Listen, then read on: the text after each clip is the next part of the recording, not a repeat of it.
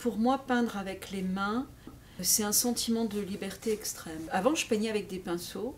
Et en fait, je me sentais très coincée dans quelque chose et puis je ne pouvais pas arriver à faire euh, vraiment ce que j'avais envie de faire. J'ai viré mes pinceaux et euh, j'ai utilisé mes doigts, j'ai utilisé mes mains, j'ai utilisé mes ongles, l'arête de ma main et la paume de ma main.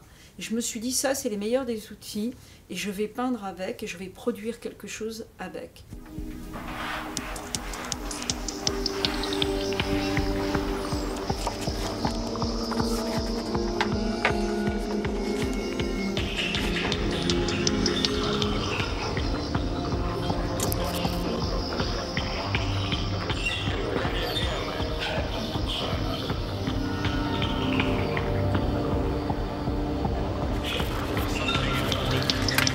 Je travaille avec mes ongles, que je fais des labyrinthes, j'ai des toiles euh, qui sont de vrais labyrinthes, qui sont faits uniquement avec les doigts.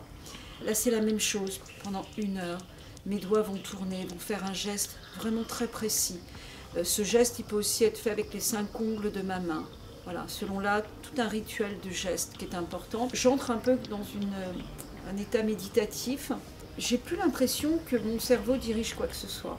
En tout cas, tout ce qui se passe, se fait dans l'instant présent, sans que je dise, tiens, je vais mettre du rouge là, je vais mettre du noir là, je vais mettre du bleu là. Non, voilà, je, vais suivre un, mouvement, je vais suivre une, une fulgurance, où j'effleure la toile, où je fais pénétrer euh, la toile avec la peinture. Et c'est ce qui va donner ces variations de couleurs. Très souvent, dans mes toiles, il y a une seule couleur. Ça va être la façon dont ma main va pénétrer la toile qui va faire que le bleu va s'éclaircir ou que le vert va s'éclaircir ou qu'il va rester sombre. C'est l'émotion dans laquelle je suis à l'instant que je pénètre dans mon atelier, à l'instant que je mets ma toile par terre, à l'instant que je vais devant ma palette de peinture pour choisir une couleur, que là je vais dire tiens, je vais prendre le bleu, je vais prendre le vert. Mais je ne sais pas pourquoi.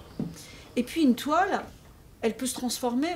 La toile que, je travaille en ce moment, eh ben, elle a été violette avant, et puis maintenant elle est rouge sang. Et puis peut-être que demain elle sera jaune, je ne sais pas. Je peux compliquer la tâche, comme avec les tableaux rouges et noirs que je suis en train de faire, où j'ai déjà au préalable dans la toile cousu des petites sphères de perles. Ça m'a pris un mois et demi pour faire ces sphères de perles.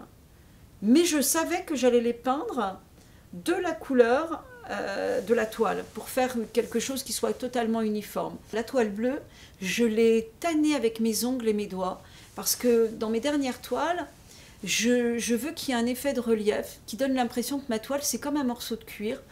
Un cuir où on voit des, des, mouvements. Donc là, avec mes ongles, avec mes doigts, j'ai tanné ma toile.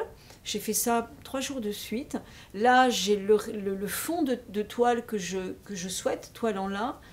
Euh, et maintenant, donc là, j'ai appliqué cette peinture bleue, mais euh, c'est un premier travail. Moi, sur une toile, je passe minimum une semaine.